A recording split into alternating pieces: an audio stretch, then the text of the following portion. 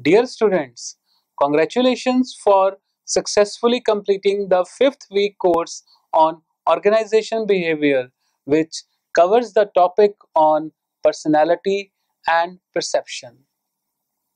I'm sure you must have a great learning experience and also acquainted with knowledge of various topics covered during this week. This week, we have discussed several examples of relevance of perception in an organizational setting.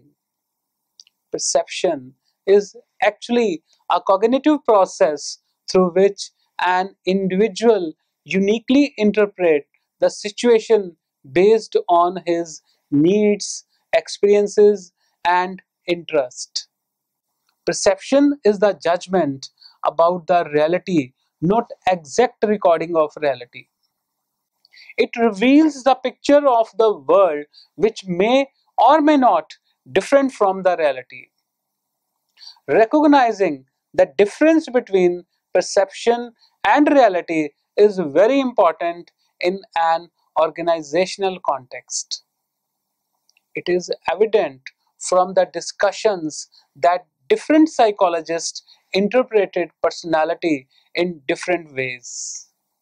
Combining the views of all together, it can be said that personality represents the sum total of several attributes which are noticeable in an individual and which determine his pattern of behavior. The determinants of personality has also discussed which include heredity, environment, society and situation.